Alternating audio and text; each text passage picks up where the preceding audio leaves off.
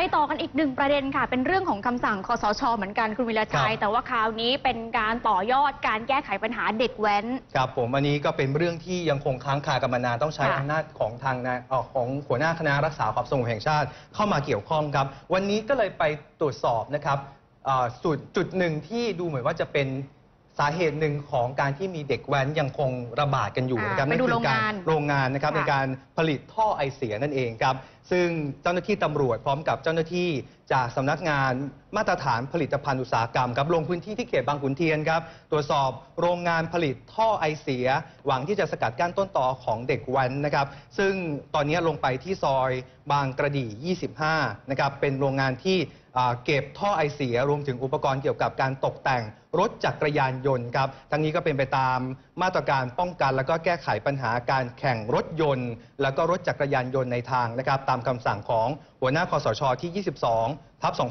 2558 ครับ ซึ่งเพื่อเป็นการตรวจสอบนะครับว่ามีการดัดแปลงเพื่อใช้การสำหรับการแข่งรถอย่างผิดกฎหมายหรือไม่นะครับทางด้านของพันตำรวจเอก งศวัสดิ์คำปาเชื้อนะครับผู้กำกับการ 3 กองบังคับการปราบปรามการกระทำผิด เกี่ยวกับการคุ้มครองผู้บริโภคก็บอกนะครับว่า การเข้าตรวจสอบโรงงานแห่งนี้เนี่ยเนื่องจากว่ามีข้อมูลว่าผลิตถ้อยเสียที่ไม่ได้รับมาตรฐานนะครับ แต่จากการตรวจสอบก็ยังไม่พบว่ามีหลักฐานการกระทำผิด ตามพระราชบัญญัติมาตรฐานผลิตภัณฑ์อุตสาหกรรมครับ มีข้อมูลว่าอาจจะเป็นแหล่งผลิตหรือว่าทำสินค้าถ้อยเสียที่ไม่ไม่ได้ ที่ไม่ได้มาตรฐานนะครับ ในส่วนของทางวันนี้ที่เจ้าที่มาร่วมกันตรวจสอบก็ได้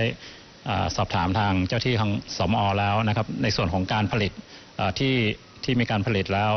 เป็นการผลิตชิ้นส่วนอุปกรณ์ ซึ่งยังไม่เข้าข่ายที่จะเป็นความผิดตามพรบมาตรฐานอุตสาหกรรมครับ ค่ะ ก็ถ้าเกิดดูคำชี้แจงแล้วทางฝั่งของผู้อำนวยการกลุ่มตรวจวัดติดตามผลผลิตภัณฑ์เครื่องกลยานยนต์นะคะก็บอกว่า